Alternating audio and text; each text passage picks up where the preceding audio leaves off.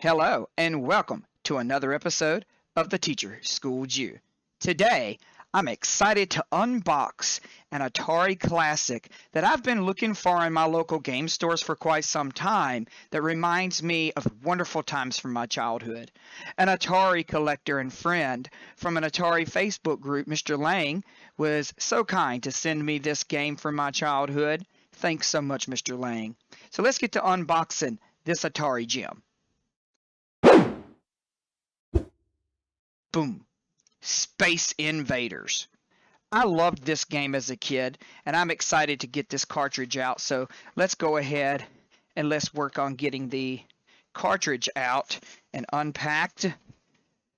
Look, I can't tell you how many hours I spent uh, as a 80s born child that was able to play uh, Atari games as some of the first experiences in video games. This game right here honestly is one of the well uh, known Atari games of all time. I see games all the time that are being remade and it's Space Invaders, Space Invaders, Space Invaders. In fact, the other day I was looking online and there are some opportunities to buy more modern day Space Invaders. So this game, which uh, if I remember correctly came around around 1980ish, has been around for so long and has inspired many different uh, renditions and revisions across time. Space Invaders. I spent more time as a child on this game than maybe any other Atari game.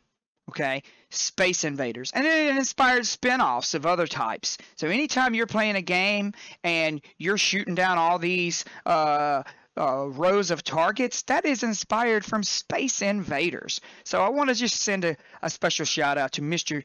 Lang. Thank you so much for sending me something I have not been able to find in my local retro game stores. Space Invaders for the Atari 2600 and you know I'm going to get some quality gameplay in on my classic Atari console playing some Space Invaders real soon.